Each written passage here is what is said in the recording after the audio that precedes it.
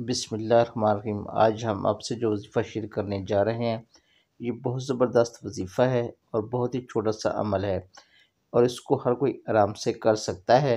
इसका फ़ायदा ये होगा कि इसके करने से अल्लाह रिस्क के दरवाज़े इसके लिए खोल देगा और इतना रिस्क मिलेगा, समेटा ना जाएगा। लेकिन इससे करने से पहले आपको मुकम्मल यकीन होना चाहिए। पाँच टाइम नमाज़ की पाबंदी लाजिम है और हलाल रिस्क कमाना है, क्योंकि हलाल रिस्क कमाना भी एक इबादत के बराबर है। तो हम अपने वजीफ़ा की तरफ़ आते हैं। आपको करना ये है कि रात को इशा की नमाज़ के बाद जब सोने को जाएँ, यानी और कोई काम बाकी ना हो तो आपने बवुज़ होकर दुरुद पाक अवल वाखिर पढ़ना है। और उसके बाद एक सौ मरतबा ला मालिकुल हक़ुल मुबीन। इस अमल को करते हुए आपने ये ख्याल रखना है कि आपके दिमाग में कोई भी दुनियावी सोच ना आए, बल्कि फ्री जेन से करना है और सौ मरतबा पढ़ना है।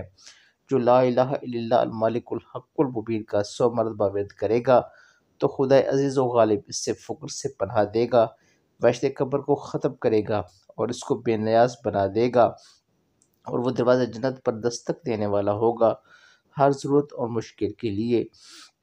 बानमाज सुनत फजर, अगर कोई शख्स रहीम नवे मरतबा अवल आखिर ग्यारह बार मरतबा दरोशी हमेशा विरद में रखे। इन उससे कोई मुश्किल ना आएगी।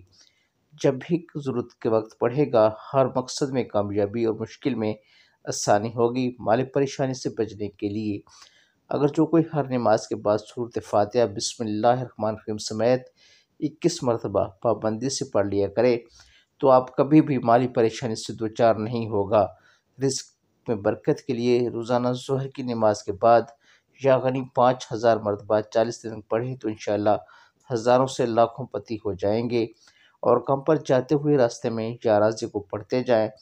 आज का ये अमल अच्छा लगा हो तो सदका जारिय समझ कर शेयर ज़रूर करें।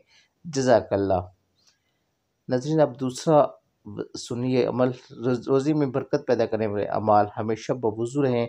फ़र्ज़ नमाज़ों और नफलों का अहतमाम खसूस चास के नफाफर का अहतमाम करें और हसब तोफ़ी रोज़ाना सुबह के वक्त सतह करना, चाहे एक रुपया ही क्यों ना हो या वालदेन की खिदमत और अतात करना, रोज़ी की बरकत और उम्र में बरकत इसमें छुपी हुई है। जब घर में दाखिल हूँ, अस्सलाम वालेकुम कहना, दरूद शरीफ और सूरत अखलास को पढ़ना, ये फजर के बाद रोज़ाना सूरज यासीन, मगरब के बाद सूरत वाक़ पढ़ना और सोने से पहले अल्लाह लतीफ़ ब्यादी यरस्कुल युशा वहुल कविल अज़ीज़। अवल आखिर दरूशी पढ़कर एक सौ इक्कीस पर पढ़ें और फजर के सुनतों और फ़र्ज़ों के दिमाग। सुबह अल्लाह व बेहमदी सुबह अज़ीम, व बेहमदी इस्तफ़रल्ला सौ मरतबा। सारा दिन कसरत से पढ़ना अट्ठारह हज़ार मखलूक़ात को रोज़ इस बरकत से मिलती है। तकवा से से रिस्क में बरकत होती है। तकवा यह है कि अल्लाह की ज़ात पर मुकम्मल यकीन और भरोसा रखना कि वही रोज़ी और रिस्क देता है। शुक्र करने से भी रिस्क में बरकत होती है। रिस्क का एक दरवाज़ा निकाह भी है। या हलीमो या अलीमो या गनी, या अजीम वाला वजीफ़ा कसर से पढ़ना है और साथ दो रका नमाज़, सलात तोबा व सलात हाजत इस तरह पढ़नी है कि इसमें सूरत फातह के बाद आयत कुर्सी पढ़नी है। इस अमल की बरकत से आप पर लोगों का कर्ज़ होगा, वो ख़त्म हो जाएगा और अब बाकी तमाम परेशानियाँ ऐसा ऐसा ख़त्म होंगी। इसके अलावा अगर आपके बच्चे बीमार रहते हों तो वो भी ठीक हो जाएँगे।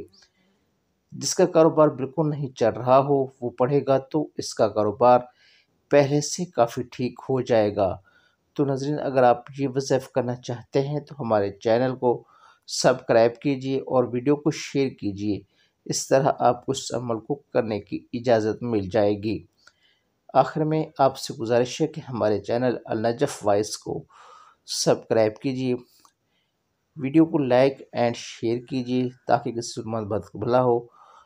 ताकि हम और आप बार बार मिलते रहें। अल्लाह ताला से दुआ है कि अल्लाह सबकी परेशानियाँ और तकलीफ़ें दूर फरमाए। आमीन। थैंक यू फॉर वाचिंग अल्लाह हाफिज़।